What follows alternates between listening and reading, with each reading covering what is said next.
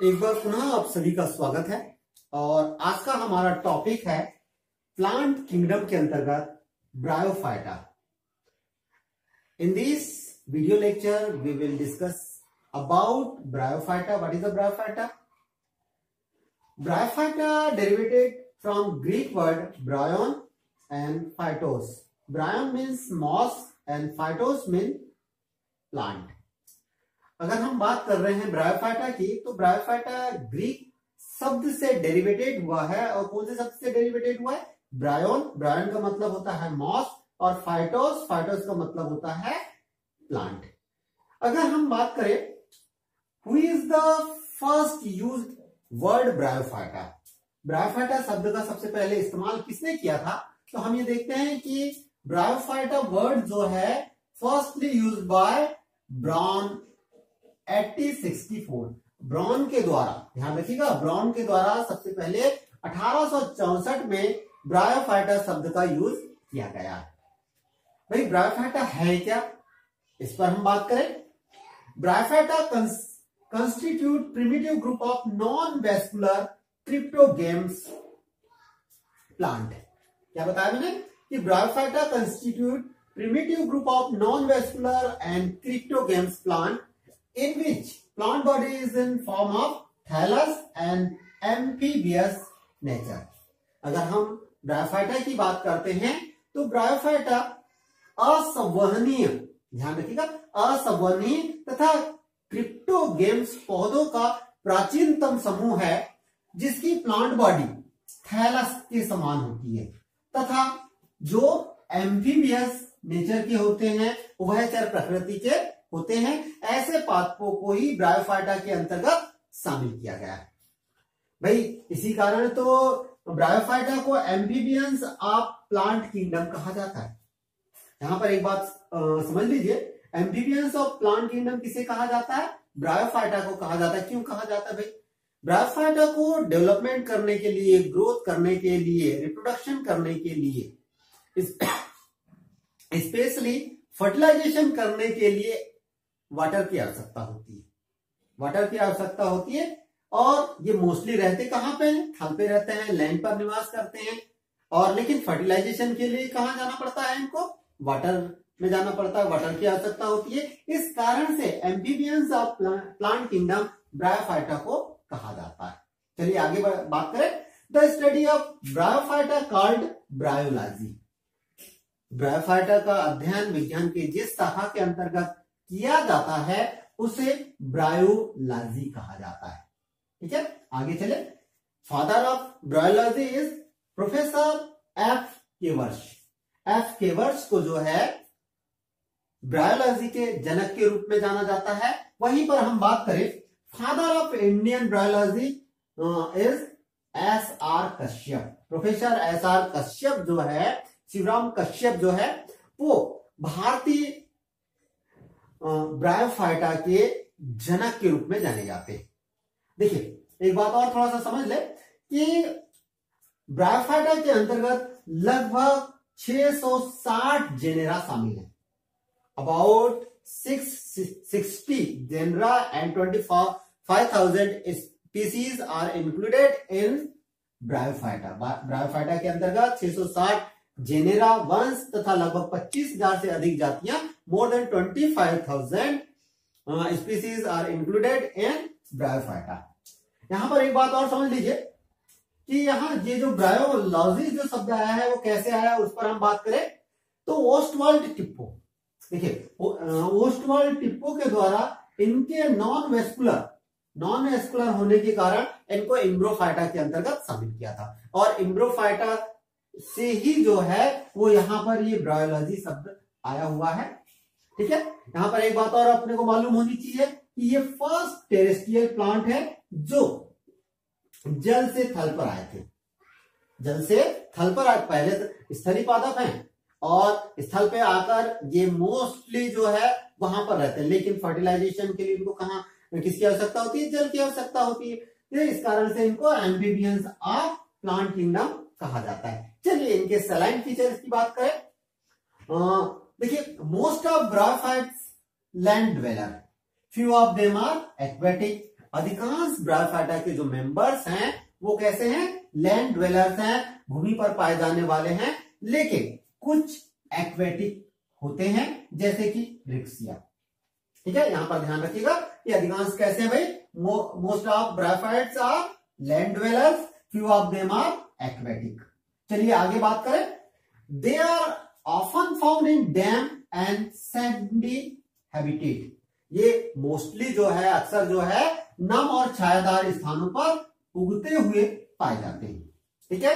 And found to grow during rainy season और बरसात के दिनों में। ये नम और छायादार स्थानों पर उगते हुए पाए जाते हैं एंड फॉर्मिंग ग्रीन कार्पेट और हरी चादर के समान संरचना का निर्माण करते हैं। ये हरी चादर कहाँ बनती है? डैम सॉइल पे रॉक्स के ऊपर वॉल के ऊपर एंड ट्री ट्रंक्स के ऊपर ये हरी चादर या मैट के समान संरचना बनती हुई दिखाई देती है। तो यहाँ पर पहली बात क्या समझ में कि हमको कि ब्राफाइट्स कैसे भाई? भूमि पर पाए जाने वाले पादप हैं, लेकिन इनमें से कुछ कैसे होते हैं? एक्वेटिक होते हैं। ये अक्सर जो है नम और छायादार स्थानों पर उगते हुए पाए जाते हैं, तथा बरसात के मौसम मौसम में जब ये उगते हैं तो हरी चादर या ग्रीन कारपेट का फॉर्मेशन करते हैं। चलिए, दूसरी बात करें। दूसरा लक्षण देखें। Plant body is bilaterally symmetrical branched and leaf like इनका जो पादप शरीर होता है, द्विपार्श्व सम्मित होने के साथ साथ यहाँ शाखित तथा पत्ती के समान होता है। पादप शरीर कैसा भाई? बायोलेटरली सिमेट्रिकल द्विपार्श्व सम्मित तथा पत्ती के समान होता है।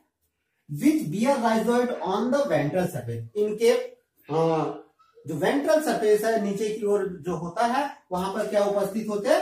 राइजाइट्स उपस्थित होते हैं। यहाँ पर एक बात आपको ध्यान रखनी चाहिए इनकी प्लांट बॉडी कैसी है? थैलस के समान है। Thallus which is not differentiate into root stem and leaves but some of plants परंतु कुछ पादप ऐसे होते हैं जहाँ पर रूट के स्थान पर रूट के समान संरचना पाई जाती है। और जहाँ पर ये रूट के समान संरचना पाई जाती है, इस रूट के समान संरचना को ही राइजोइट कहा जाता है। ठीक है? चलिए आगे देखें।